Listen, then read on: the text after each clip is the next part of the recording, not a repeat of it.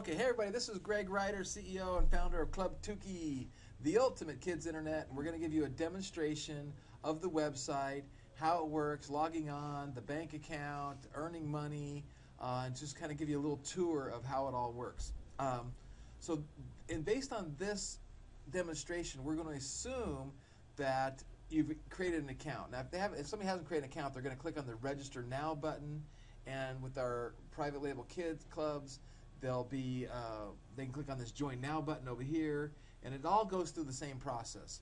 And I want to just kind of show somebody I have this thing called uh, RoboForm and RoboForm is a password manager.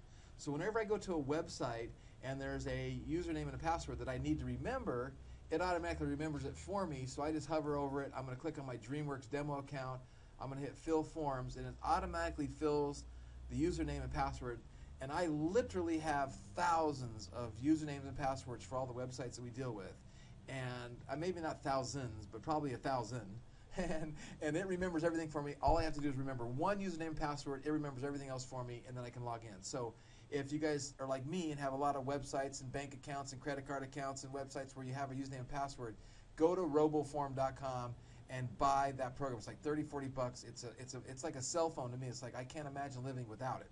So anyway, I filled in my nickname DreamWorks and my password is hidden and I'm going to hit go and now it's going to log me into the site. Now the first thing that we notice when we're logged into the site is now I'm logged in and it shows me how much Tuki Moolah I have. So over here it shows I have $1,659.27. So the first thing I'm going to do is I'm going to go to my bank account and we're going to look at my bank account in the check register and it's going to show us the different items of how we've earned money and what it looks like. So, um, and you can see this is a demo account that we use from time to time and we, we hand out stuff and we do stuff with it. So I'm going to scroll down here to the bottom and you're going to see on 10-3 we played the memory game and we earned a dollar two. On 10-5 we bid on an iTunes $25 gift card and you can see it took the money out. So again, going back to these columns, we have a credit column, a debit column, and a balance column. And so it's just like a check register. So it shows me the date, it shows me the game I played, and did I earn money or did I was a de debit taken out? And then obviously what happens is is let's see if there's an outbid. Okay, so here's an outbid. So I bid on where did I bid on the frog? Okay, so see down here, I bid on the frog and it took out $15 out of my account. So subtracted the $15, but then out here at 11 11 11, I got outbid and it put the money back in. But then you can see right below this, I actually won the iTunes gift card, and so it, it showed me that I won it, but there's no transaction here, but it has now permanently taken that money out of my account. So again, this is the basis for you know the financial literacy for the kids. So let's go to the game arcade. So I'm clicking on games, and under the game arcade, one of the things I want to point out to people that most people, uh, we're going to change this very soon. But right here it says click here to find games in the jungle. But enter the jungle at your own risk. Well, because we've all been programmed for banner blindness, a lot of people don't even know this is here. But if I click on this, it's going to take us to a jungle where we have games hidden in the jungle, even with some sound effects. And so this is kind of like I'm in the jungle and I've got my binoculars and I'm looking around and I can see there's a there's a I forget what that thing's called. But there's a lizard and some ants and some insects and a snake and a frog. Now what happens is, is you'll notice when I go in here and my mouse turns into a hand, that's obviously a hyperlink. And so now if I click on that, here's a hidden game, play Sports Smash. And I can close say, no thanks, I don't want to play that. Or I'm going to go on the butterfly, and I can hit the soccer ball, and I can play the soccer ball game I can go down here. And so on each one of these little animals, there's hidden games. This is a Rubik's Cube. And so we hide games in the jungle. So that's just one of the things we've done. So I'm going to go back to the games area, and just that was like a little hidden place, and where there's some games. Okay, so then in the game section, right now we have them sectioned off and organized by quizzes, uh, memory games, um, math games, so we have math games. They're, so they're like into sections, geography games. Um, and we're, we're talking about how we might change this as well and kind of as we add more games and do more stuff here. So let's say we want to play the Internet Safety Scrabble game. So I hit play. And by the way, this is one of the most popular games we have on the website. And we know that through our, um, our analytics. And you can see a little thing while it's loading, we give it internet safety tip. And say now it comes up the internet safety, internet word Scrabble. So I hit start. And now it gives me instructions, drag and drop letters, rearranging them from a valid word, and you can click on a hint to get the meaning of the word. So I'm hit start. And so see, we have up here the dominoes, and we got to figure out what this word says. So because I don't want to figure it out, I want to hit hint. The address you can find in a website at. The meaning of the word is the address you can find a website at. Uh, I think it's a domain, so I'm going to hit D-O. M A I N, and I hit submit. Correct. So now I go to the next word, and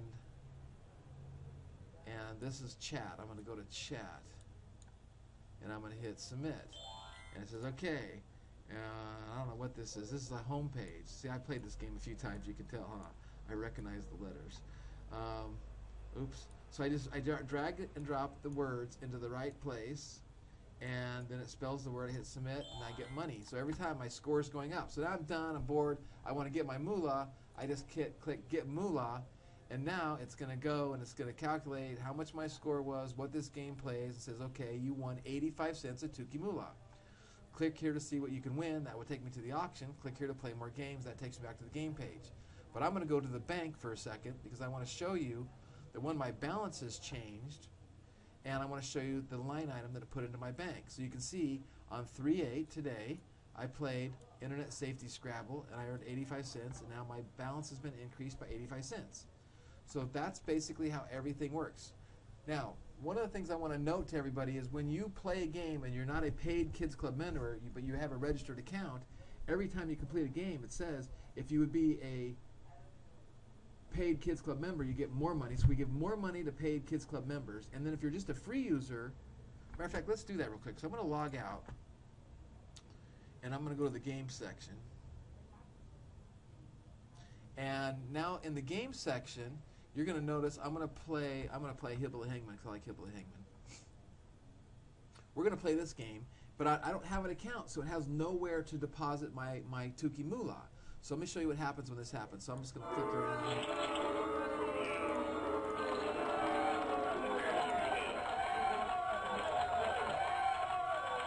So we got all these sound effects.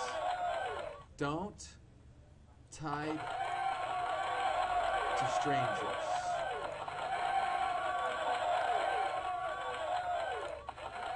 Okay, so I played the game. I won. Says don't type to strangers. And now I'm going to hit finished because now I want to get my moolah. And now the game refreshes and it says free members earn 10 cents a Tuki Moolah. Primos members earn 50 cents. Not a member yet? Click here to register. So again, because I'm a because I just came to the website and I played a game, I don't have an account to deposit my Tuki Moolah into. So therefore, it's giving me a, a, a it, this is like a conversion strategy, saying, "Hey, look, if you want to create an account, create an account. If you become a Primo member, you earn five times as much with this game. Now, all the games are different, and we have the ability to program which games pay how much. And we change that from time to time to get kids to play certain games. So now I'm going to log back in with my RoboForm. And uh, we are going to go, and now it says it remembers that I just played that game and it, and it's like, oh, I played the game before I logged in, so now it's going, bam, you just got 50 cents. So I'm going to go back to my bank account. I'm going to show you that it remembered and it put it in the transaction item. See, so see right here, Hibbley Hangman, 3.8, I earned 50 cents.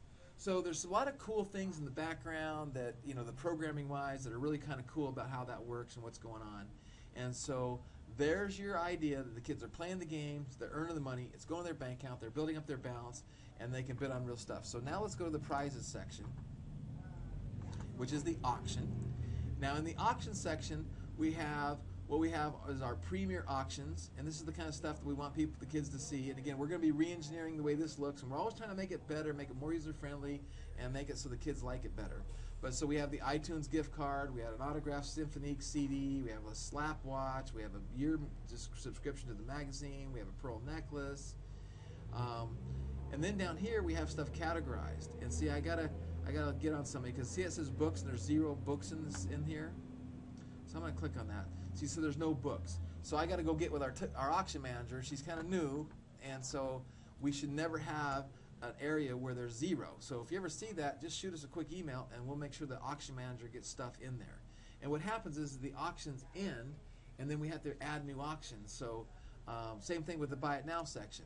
So it looks like there's zero auctions in here, and this should not be empty. So I'll go get on this as soon as we hang out because that is not good. But the one thing I did want to point out is in the buy it now section, we have auctions where they can get the instant gratification. They can actually spend their money and buy it now. It's not an auction. They don't get bid on. They don't get outbid. It's an actual buy it now. So it's like a store. It's like I'm going to use my Tuki Moolah. This is what I'm going to get, and that's what's going to happen. So I'm going to go down here to electronics, and I'm going to look for, let's see here, a solar charger doesn't interest me, a Barbie video girl camera. Now that's a really a cool thing. I was actually at Barbie. We had a presentation. We're working on getting them as a sponsor for us and uh, we put this in there. So it's a really cool thing. And uh, we're going to start putting videos in here, video descriptions for the kids to watch. So basically, it shows that there's zero bids in this item. There's 28 times it's been viewed. Here's how many days before the auction ends. Here's the starting bid. So I'm going to go start the bid off. So I'm going to go down here to $50. I'm going to put in $50. And I'm going to hit place your bid. So as soon as I click on place your bid, it's going, hey, do I have money in my account? Yep. And it says, hey, review your bid before you do it. So your current available balance is this. This is your bid amount, and I hit place my bid. So the minute I hit place my bid, now it's making a, a transaction into my bank account. It says, thanks for placing your bid. Your bid was accepted. The bid amount was. The auction is scheduled. And so I hit continue. So now again, what we're going to do is I'm going to go over here. Now it shows me that DreamWorks is the high bidder. Now we're going to go, and I can email this to a friend if I wanted to email this to a friend. But if I go over here to back to my bank, we're going to again see another transaction in the check register that shows I bid on this item and it now it has taken the money out of my account. See, so I bid on the Barbie Video Girl camera and it's taken the money out of my account. Now, only if I win it does it permanently take it out, but if I get outbid on it, it will, uh, you know, it will put the money back in my account which I don't think I have another demo account that I could show you. No. I don't have another demo account that I, I was going to say I could log out of this account, go bid on it with another account, and see how it gets outbid and see how that looks like.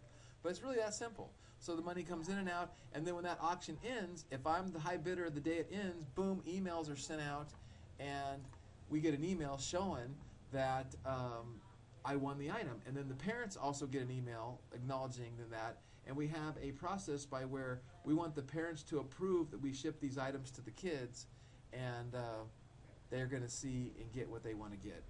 It means that the parents are okay with us shipping this item out. Plus, that's also a way for us to let the parents know, "Well, my kids actually won something. This is cool, and I'm glad that I bought and made this investment."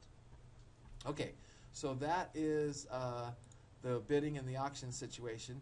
Then under Tuki TV is the KidSafe YouTube, and you can see here that when I clicked over to Tuki TV, I'm automatically logged in as DreamWorks, and because this is a completely different platform, you can see the branding is different because it's it, we, it's it's it, it's a completely different code base to, in order to do what we do here, but it does talk to what we're doing. And this is just like YouTube, and you can see Kyle makes buckets. Uh, the amazing basketball shots by a Duke basketball player. And again, I'll go and click on that one. This is one of my favorite ones. I love this. I love this video. Um, so it's just like YouTube, but all of the videos have been pre-screened and previewed and deemed child appropriate. There's not any inappropriate videos on Tuki TV anywhere. So and they can even upload videos. And if they come here and upload a video, they got to give it a title, give it a description. It goes into a holding bin, and until one of our staff members reviews it, it will not go live on the website. So this is again our Tuki TV, and it's our way of helping, giving the kids something they like, something they want, but keeping them safe. So now I want to go back to Club Tuki. Let's see if I go click there. I can go back to Club Tuki. And Tuki Island News is our blog where they get the Tuki news, and here they can uh, take quizzes and test earn money. So, for instance, we have uh, the goals and dreams. So a kid can come to this site and they can earn five dollars a Tuki Moolah by taking the survey. How old they are, what their nickname is, so we can give them their money, what their Tuki email address is. That's a training process to train them on what their email address is. When did you get your last check your Tuki email account? So we're asking some questions and do you set goals? So the bottom line is they go through here and then these questions get emailed to us. We then send these questions to the parents. So the parents can say, hey, your children set some goals and talked about their dreams on Club Tuki, and we, we thought we'd share that with you. So it's kind of cool, and then we deposit the money in their Tuki Moolah account, and it's kind of works as another place to do that kind of stuff. So that about covers uh, what we're doing here. Um, so I think what I'll do is I will open it up for questions. Does anybody listening have any questions?